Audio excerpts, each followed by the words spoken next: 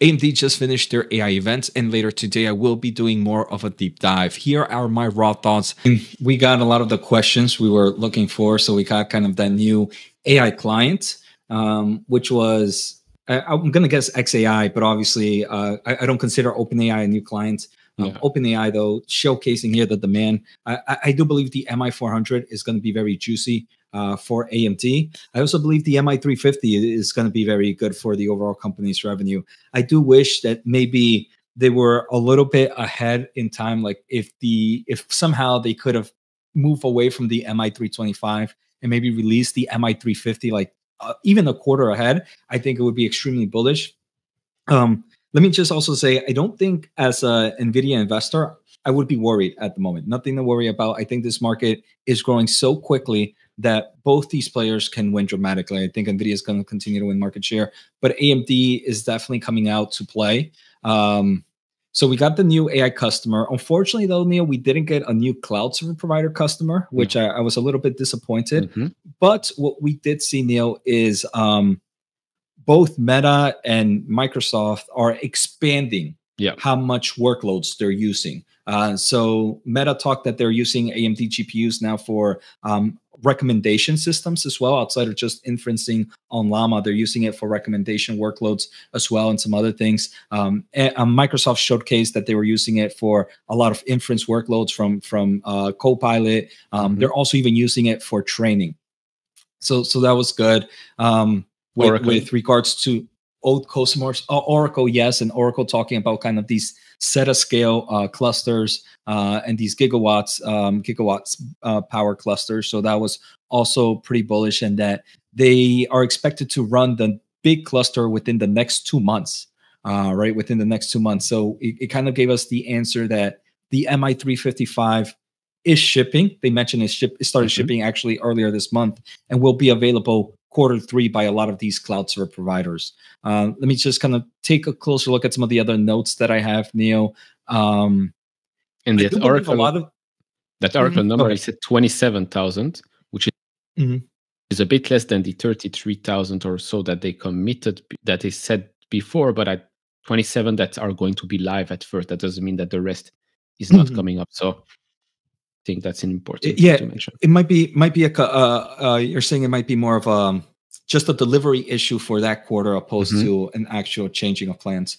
I could see that. I also think Neil, um, this conference was a big shot at ASIC solutions because throughout the whole conference they kept sh- talking about how flexible workloads and a chip that's that's completely flexible on what's the next stage of AI is super crucial.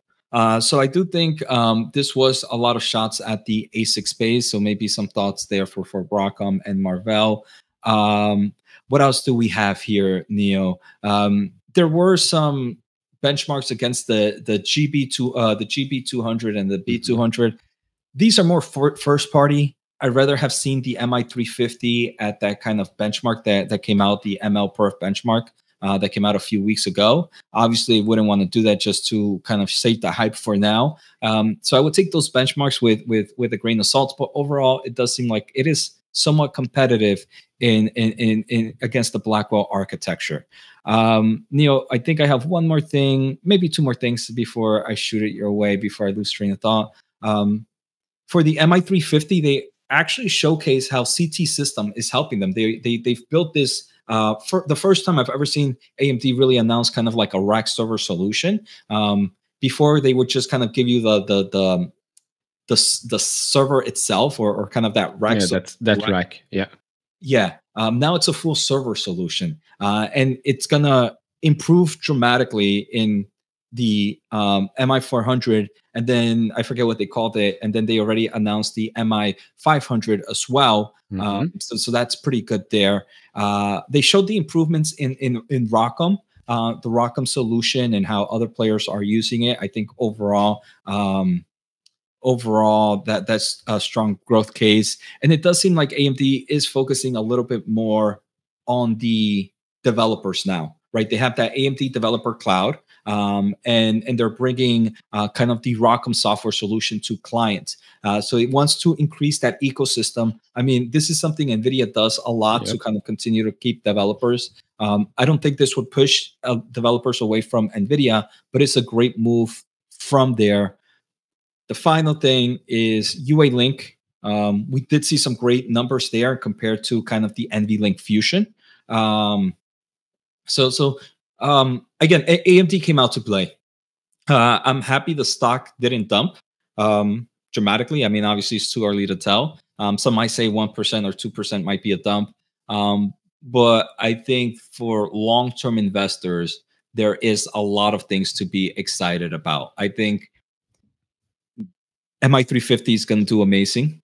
I think MI400 is going to do amazing. And again, it, it, it's weird that I own both AMD and NVIDIA right now, but um, mm-hmm. I do believe this AI market is so massive that you can't have one winner. At the end of the day, though, um, again, I would not take anything out of NVIDIA from this presentation, but I will give a lot for AMD. And the market is that big that I can safely say stuff like that. All right, guys. So I hope you guys enjoyed that quick update. I will be doing a more in depth analysis later on today. So take care, have a good day, and see you all next time.